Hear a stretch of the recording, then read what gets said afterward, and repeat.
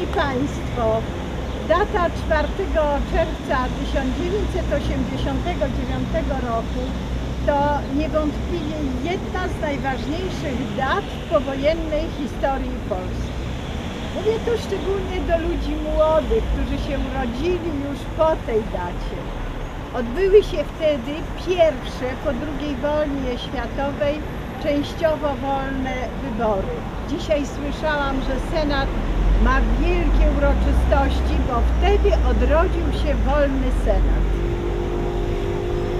W tym, e, w tym dniu stary porządek polityczno-społeczny został pokonany, a siły wolności zostały zwyciężyły. Było to zwycięstwo przez polityczny nokaut, wywalczony pomimo nierównych szans, bez użycia przemocy, za pomocą kartki wyborczej. Dla Polski rozpoczął się okres odważnych, trudnych i czasami bolesnych reform gospodarczych, społecznych, politycznych. Ale 30-lecie odzyskania tej wolności to piękna okazja, aby świętować razem, aby cieszyć się, że możemy żyć w kraju wolnym, że przypadł nam lo, los bez wojen, bez konfliktów zbrojnych.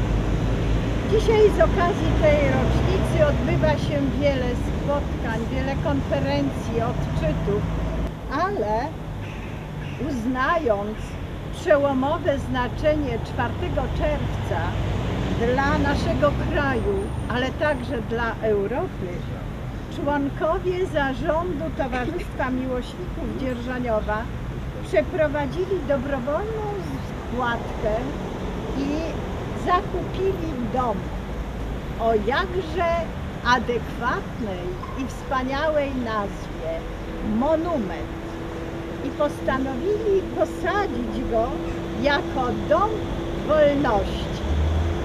Niech to drzewko rośnie na pamiątkę tego jubileuszu i niech stanowi świadectwo pamięci nas tu obecnych, członków Towarzystwa Miłośników Dzierżoniowa i wszystkich dzierżoniowian. Chciałabym w tym miejscu podziękować bardzo serdecznie władzom miejskim za pomoc w zorganizowaniu dzisiejszego dnia.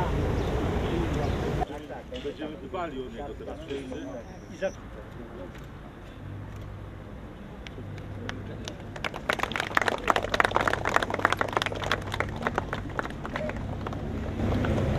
tabliczka następującej treści. Dom Monument, Dom Wolności, budowany przez Zarząd Towarzystwa Miłośników Dzierżoniowa, posadzony 4 czerwca 2019 roku z okazji 30. rocznicy historycznych wyborów parlamentarnych w Polsce. Towarzystwo Miłośników Dzierżoniowa szukam pieczątki muzeum, nie. Dziękuję. Akurat, dziękuję bardzo.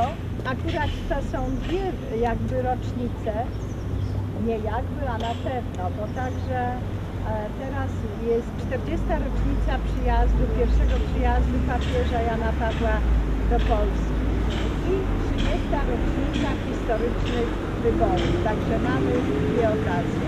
Bardzo Państwu dziękuję za udział.